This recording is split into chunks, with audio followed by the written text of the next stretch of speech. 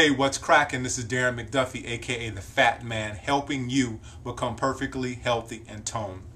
And today's topic is about diets for women. I know a lot of times in the fitness rush, women are sometimes ignored. So I wanted to gear this video specifically towards women and I wanted to talk about why diets don't work, but not necessarily not working. Sometimes diets will work for you and I'll explain that what I mean by that in a moment. I know that was kind of confusing.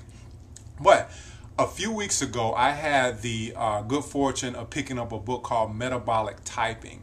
And in that book, the doctor, I mean, not, I'm sorry, not the doctor, the author explained uh, there are three metabolic types, and I'm going to tell you those types.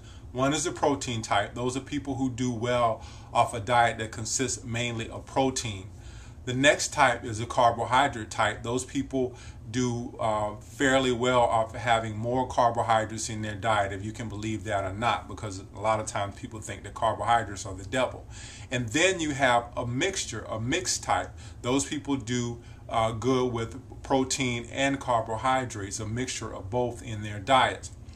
But one of the things he also discussed in the book, and uh, one of the things that I knew personally, and I just, it was great for me to have someone justify that and, and really, uh, you know, put me on that level that they were thinking the way that I thought, was he talked about the fact that sometimes diets do work because uh, the person will fall into a diet that works for their, their metabolic, metabolic type. And this doesn't happen often, but it does happen.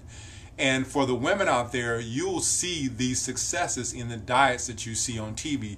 You know, some women have these uh, South Beach diet, all these other diets out there where they will fall in and they'll put them on TV and they'll have all the good before and after pictures and it looks like, you know, they're successful when they, you know, they are successful. But let's say if for instance, you went and you tried the same diet, maybe you won't have the, the, that success with that. And that's because the diet didn't fit your metabolic type.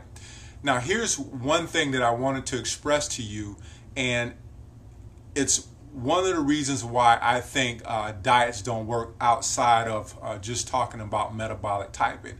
And it's this it's the fact that we constantly push women, we meaning, uh, you know, the diet wheel out there. You have, uh, you know, uh, specific health professionals that push women towards losing weight, losing weight, and losing weight. And the way that we teach people to lose weight is we either deprive them of eating things or we tell them that they have to exercise themselves to death. And in any event, all of these, these two things are very detrimental to women.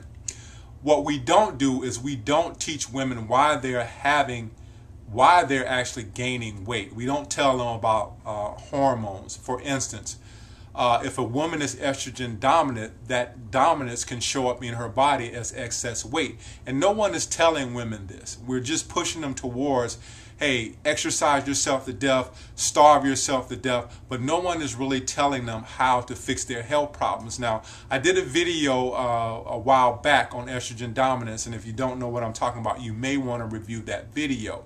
But there are various things, uh, health things that can pop up for women that cause them to gain weight.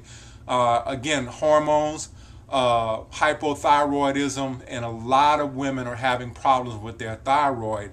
And I have a video on that, of why you might be having problems with your thyroid, and you may want to watch that. But what we're telling women is to exercise them themselves to death and do all these things.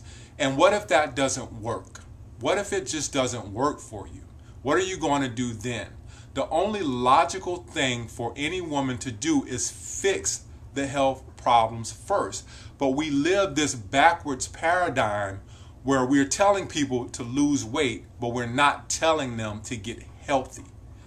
Now, when you get healthy, the natural side effect of that is losing weight. For instance, if you have a problem with your thyroid and you can't seem to drop those uh, unwanted pounds, if you tried everything, you've exercised, you've gone to spin class, you've done all of this stuff, and you just can't seem to do weight, can't seem to, to lose weight. What if you went to a practitioner, alternative practitioner, and they diagnose you with a thyroid problem, and then you take care of your thyroid problem by treating it some um, some kind of way and you go back to your regular regimen and you start to lose weight. What if that could happen? A lot, lots of times that can happen, but again, we exist on this paradigm where we're telling women to lose weight by any means necessary, but we're not giving them an outlet to be healthy. So here's my take learn how to be healthy first and then lose weight second. You'll be you'll be more than happy with that if you just learn to do that. Uh, eat real food and do the things that are going to get your body back in balance. And that's all you need to do. So I hope you learned something from this lesson. This has been Darren McDuffie, aka the Fat Man, helping you become perfectly healthy and toned. And I'll see you on the next video. Thanks for watching.